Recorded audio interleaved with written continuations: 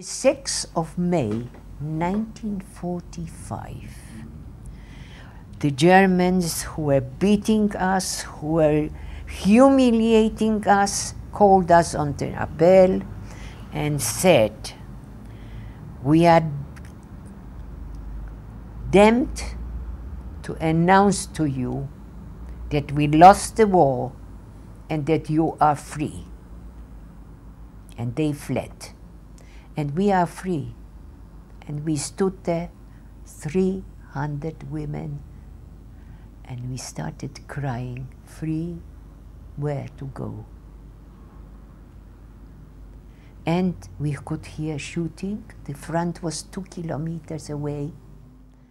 Uh, a woman, a blonde, beautiful woman on a white horse in general's uniform, came into the camp and saw us and they start, she started crying.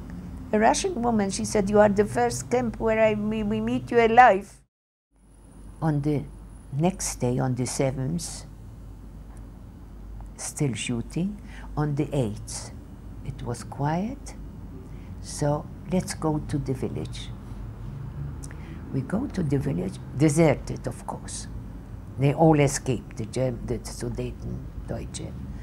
But we found a villa that, that, that was the doctor's the villa.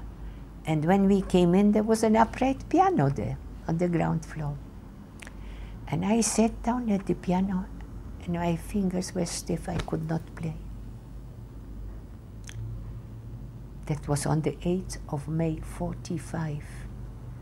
And on the 17th of March 46, I played the Tchaikovsky concerto with this Philharmonic Orchestra in Krakow. Relate on all the radio stations of Poland.